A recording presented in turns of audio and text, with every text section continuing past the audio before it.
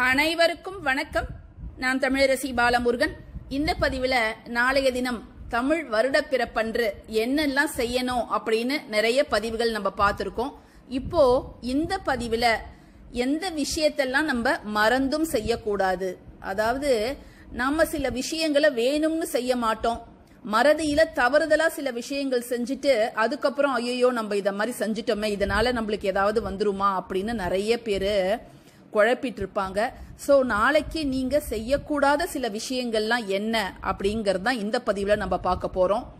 செய்ய வேண்டிய விஷயங்களை செய்யாம இருக்கிறதும் செய்யக்கூடாத விஷயங்களை செய்யறதும் இரண்டுமே வந்து தவறு தான் அதிலும் நாளைய தினம் ஒரு நல்ல நாள் ஒரு புதிய தொடக்கம் நமக்கெல்லாம் ஒரு புதிய வாய்ப்பு அஹ், காத்துட்டு இருக்கு எனவே அந்த நாள்ல நம்ம அனைத்துமே சிறப்பானதாக செய்யணும். எதெல்லாம் நம்ம தவிர்க்கணும் அப்படிங்கறத இப்ப பார்க்கலாம்.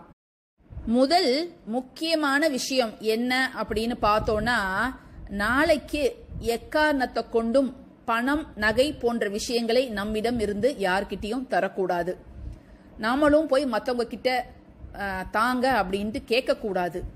கடன் கொடுப்பதும் தவறு கடன் வாங்குவதும் நாளைய தினம் தவறு. அத மாதிரி வீட்டில் இருக்கக்கூடிய நகைகளை போயிட்டு நாளைக்கு போயிட்டு அடமான கடையிலையோ இல்லை பேங்க்லேயோ வைப்பது அப்படிங்கிறது தவறு. ஏன்னா நாளைக்கு வந்து நமக்கு வரவு தான் பல வகையில இருக்கணுமே தவிர செலவு இல்ல நம்ம கிட்ட இருந்து பொருள் போகிறது அந்த விஷயம் எல்லாம் நாளைக்கு நம்ம செய்யக்கூடாது. அதனால அதற்கான ஏதாவது உங்களுக்கு பணத்தட்டுப்பாடு இருக்கும் பட்சத்தில் அதெல்லாம் நீங்க இன்னைக்கே சரி செஞ்சுக்கோங்க. நாளைக்கு எக்காரணத்துக்காகவும் இல்லை அப்படிங்கிற வார்த்தையை நீங்க பயன்படுத்தக்கூடாது. இரண்டாவது தவறு என்ன அப்படின்னு பார்த்தோம்னா நிறைய பேர் வேலைப்பளு காரணமாக இன்னைக்கு வந்து சுத்தம் பண்ற வேலையெல்லாம் செய்யாம நாளைக்கு செஞ்சுக்கலாம் அப்படின்னு அதை வந்து தள்ளி வைப்பாங்க. அந்த தவறை தயவு செஞ்சு செய்யாதீங்க. செவ்வாய் வெள்ளிக்கிழமை அன்னைக்கு காலையில பூஜை சாமான கழுவுறதோ அல்லது வீடை ஒட்டடை அடிக்கிறதோ அல்லது கதவெல்லாம் துடைக்கிறது கதவு ஜன்னல்லாம் துடைக்கிறதோ அல்ல வீட்டுக்கு மாப் போடுறது இந்த வேலையெல்லாம் நாளைக்கு செய்யவே செய்யாதீங்க. நீங்க இன்னைக்கு என்னால செய்ய முடியாது அப்படின்னாலும் விட்டுடுங்க. எளிமையான பூஜைகளை செஞ்சிடுங்க. நாளைக்கு மட்டும் இந்த வேலையெல்லாம் செய்யவே செய்யாதீங்க. ஏன்னா இதெல்லாம் வந்து மகாலட்சுமி தாயாரை அவமதிக்கும் செயலாகும். நீங்க செய்யும் இந்த செயலால வீட்டில் இருக்கக்கூடிய மகாலட்சுமியும் வீட்டை விட்டு செல்வதற்கு ஒரு வாய்ப்பை நீங்களே ஏற்படுத்தி தருவதாக அமையும். அதனால நான் என்னால் முடியலங்க. அப்படின்னாலும் இருக்கிறது இருக்கிற மாதிரியே இருக்கட்டும். அப்படியே பூஜைகளை செய்யுங்க. மற்றபடி அடுத்த வாரமோ இல்லை அடுத்து வரக்கூடிய விசேஷத்திற்கு நீங்கள் முன்னேற்பாடாக இதை எல்லாத்தையும் சுத்தம் செஞ்சு அதுக்கப்புறம் பூஜைகளை செய்யுங்க. மூன்றாவது தவிர்க்க வேண்டிய விஷயம் என்ன அப்படின்னா பொதுவாகவே வெள்ளிக்கிழமையில கீரை சமைக்க மாட்டாங்க.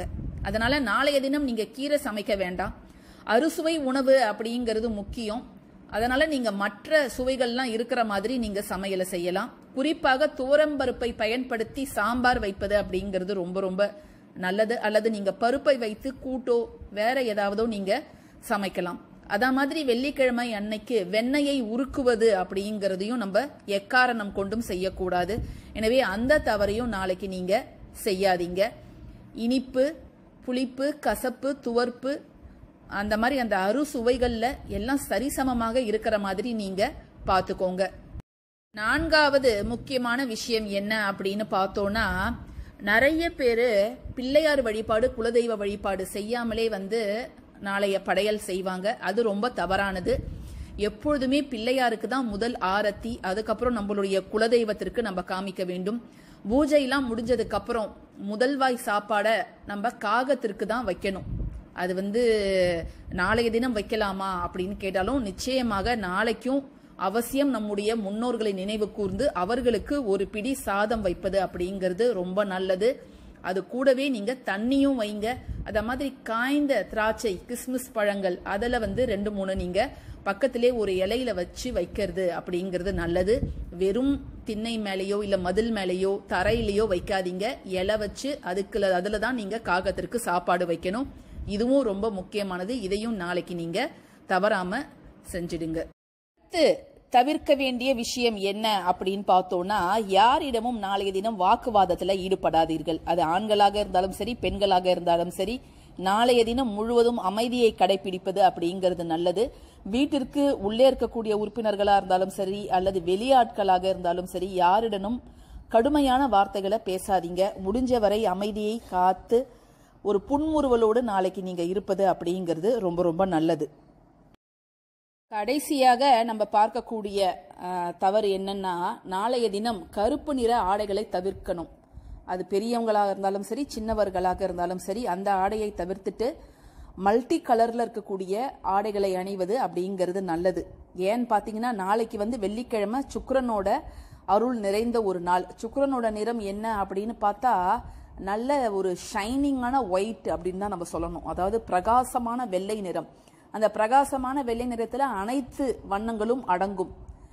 அதனால் நம்ம வந்து நீங்கள் ரெண்டுக்கு மேற்பட்ட வண்ணங்கள் உடைய புடவைகளையோ இல்லை உடைகளையோ அணிவது அப்படிங்கிறது ரொம்ப ரொம்ப நல்லது. இந்த பதிவில் சில முக்கியமான விஷயங்களை நான் உங்கள் கூட பகிர்ந்துருக்கிறேன். இந்த பதிவு உங்களுக்கு பயனுள்ளதாக இருந்துச்சுன்னா கட்டாயமாக லைக் பண்ணுங்கள் ஷேர் பண்ணுங்கள் நம்ம சேனலுக்கு சப்ஸ்கிரைப் பண்ணுங்கள் தேங்க்யூ ஃபார் வாட்சிங் திஸ் வீடியோ நன்றி.